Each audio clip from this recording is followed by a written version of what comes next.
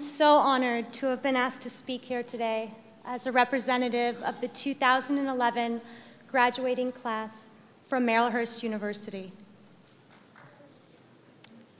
Fellow graduates, congratulations, we made it.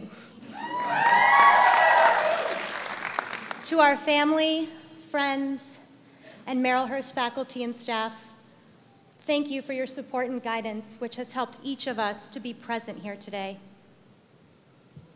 Marylhurst is a special place. I realized this the first time I drove up to campus off of a windy, tree-lined Highway 43 and saw Mount Hood behind those beautiful brick buildings, which I later learned some of them were built in 1930s when the sisters founded the school and moved their small women's college to its current location along the Willamette River. But it's not only beautiful because of the campus and the rich history it holds, but it's a special place to me because of the people who are drawn to it, who choose to work and study here. I had the pleasure of being both a student and an employee for the University Admissions Office.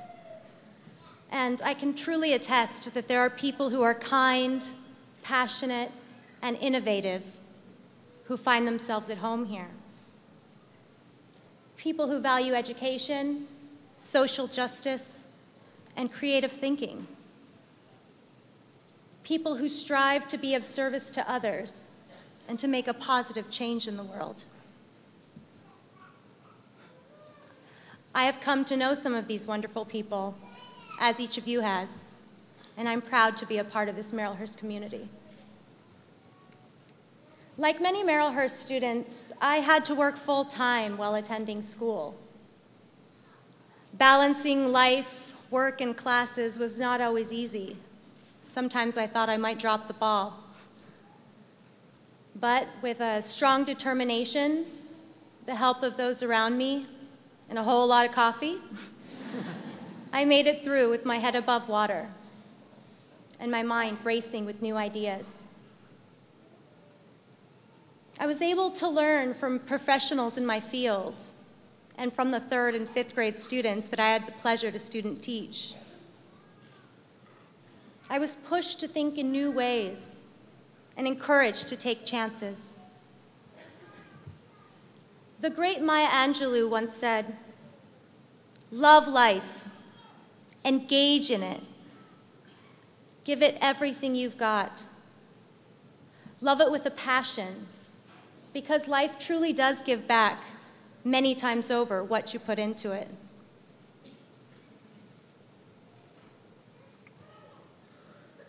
This advice rings true to me and reminds me that our hard work is not yet over. Now we must go forth and live life with passion and drive. We must dedicate ourselves to taking what we've learned during our time here and using it to make a positive difference, no matter how big or small. I chose to return to school not only to earn a master's degree, but also to throw myself wholeheartedly into the world of elementary education. In an unsure job market, during a time of economic and social hardship, and upheaval over our public education system, I chose to change my career and pursue a life stream. I took a leap of faith that I'm still midway through. But I believe. I believe that my time spent studying here and with my students have prepared me to be the best teacher that I can be. Now it's my job to go forth and put that passion and energy into the classroom.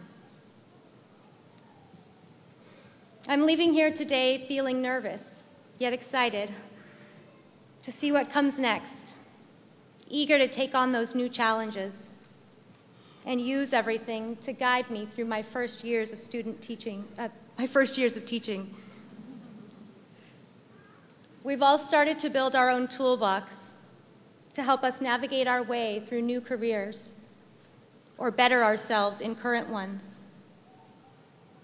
Whether your degree is in music therapy, interior design, or education, you now have the opportunity to go forth and make a statement about what you believe in through your work and your actions in life.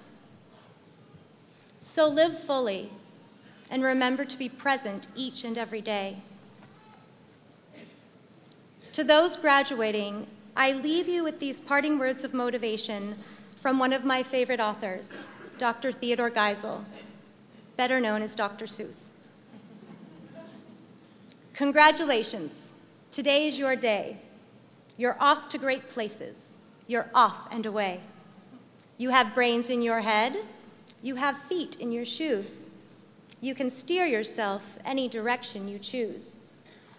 You're on your own, and you know what you know, and you are the one who will decide where to go. You're off to great places.